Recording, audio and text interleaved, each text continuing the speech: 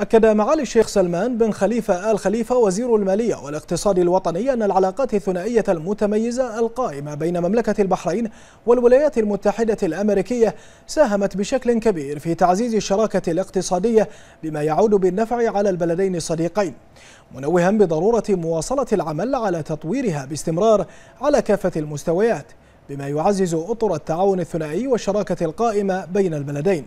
جاء ذلك لدى لقاء معاليه اليوم سعادة السيد جاستن موزنج نائب وزير الخزانة الأمريكي بحضور معالي الشيخ عبد الله بن راشد آل خليفة سفير مملكة البحرين لدى الولايات المتحدة الأمريكية وسعادة السيد جاستن سيبرل سفير الولايات المتحدة الأمريكية لدى مملكة البحرين وذلك على هامش مشاركة معاليه في مؤتمر حوار المنامة 2019 والذي ينظمه المعهد الدولي للدراسات الاستراتيجية. وخلال اللقاء تم بحث آخر التطورات وتبادل وجهات النظر فيما يتعلق بالأوضاع الاقتصادية العالمية. كما تم التطرق إلى سبل تطوير التعاون المشترك وتعزيز التنسيق في المجالات المالية والاقتصادية. كما تم مناقشة القضايا المشتركة التي تهم البلدين الصديقين على صعيد الاقتصاد العالمي إلى جانب مجمل التطورات الجارية.